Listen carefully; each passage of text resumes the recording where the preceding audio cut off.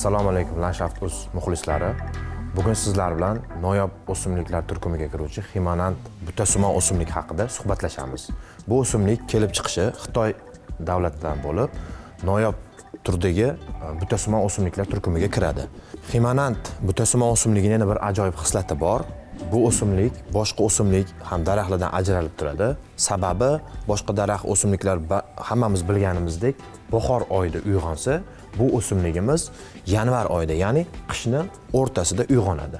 Yana bir ajoyib xislati bor.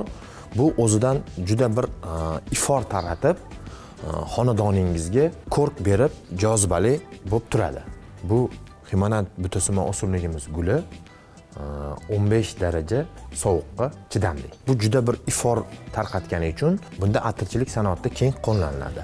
Ximanant o'simligi bu guli unaqa katta bo'lmagan 2 santimetr hajmga ega e, ko'rinishi och sariq rangda ya'ni gullash davri buni yanvar oyining boshlaridan boshlanadi. Mana hozirgi o'zinglar ko'rib turibsizlar bu yerda hamma gullari hali gulla bo'lmagan g'unchalarini ko'rmoqdamiz. Bu o'simligimizni parvarishiga keladigan bo'lsak 30-40 santimetr niholda olib kelib ekkanman bu yoqqa. Xonadonimga e, ekilgan davridan to gullash davrigacha 7 yil muddat ichida bu gulga kirdi.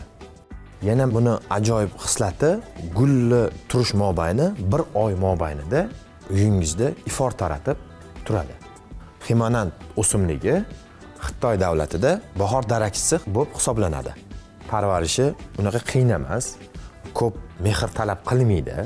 Ya'ni biza gul ishqibozlarimizdagi aytadigan bo'lsak ba'zi bir o'simliklarimiz juda injiq bo'lib hisoblanadi. Bu unaqa injiq daraxt emas.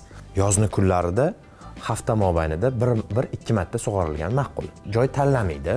Oftob joyga eksanglar ham bo'ladi salqin joyga eksanglar ham bo'ladi. Kunni ikkinchi yarmidan keyin oftob tushadigan joylarga ekseliya ham bo'ladi. Bu joy tanlamas o'simlik hisoblanadi. Shakl berishiga kelib to'xtaladigan bo'lsak himonant butasimon o'simligi butasimon bo'lganligi uchun bu teskari piramidalniy ko'rinishda ikki xil piramidalniy ko'rinishi bor to'g'ri va teskari. Teskari deganimizda pastdan tepaga qarab kengayib boradi. Buni bizni xonadonimizga shakl berish evaziga xohlagan e, ko'rinishda qilib olishimiz mumkin. Joyimizdan kelib chiqqan holda albatta. Buni eng asosiysi shakl berish davri ya'ni barglarini noyabr oyida to'kadi.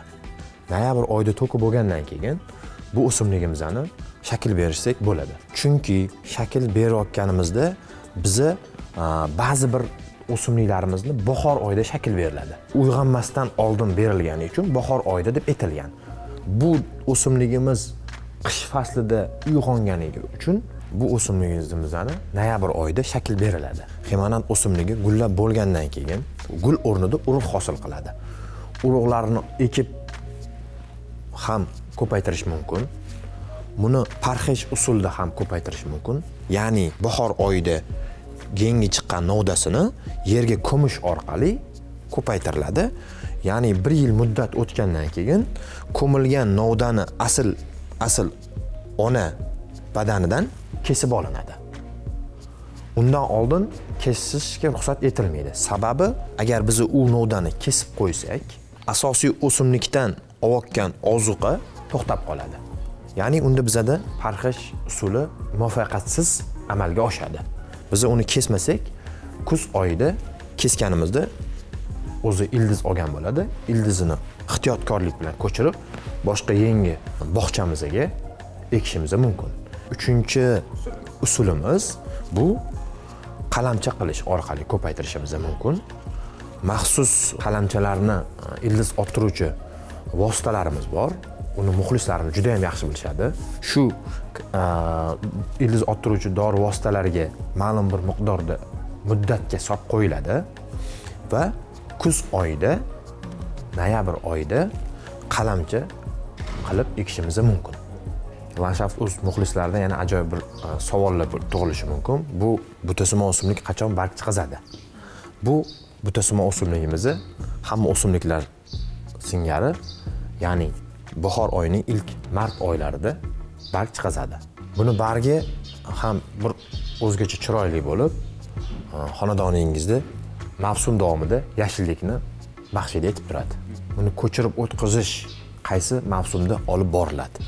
Himonand bittasi mavsumligi e, kuz oyida ya'ni noyabr oyida ko'chirib o'tkazilsa maqsadga muvofiq bo'ladi. Sababi gullash davridan oldin ya'ni uyqu davriga ketish davrida o'tkazsak bu o'simligimiz ko'chirib o'tkazilgan joyida muvaffaqiyatli uyg'onadi va yangi o'tkazilgan joyga moslashib ketadi. Kelasi ko'rsatuvlarda ko'rishguncha sog' bo'ling.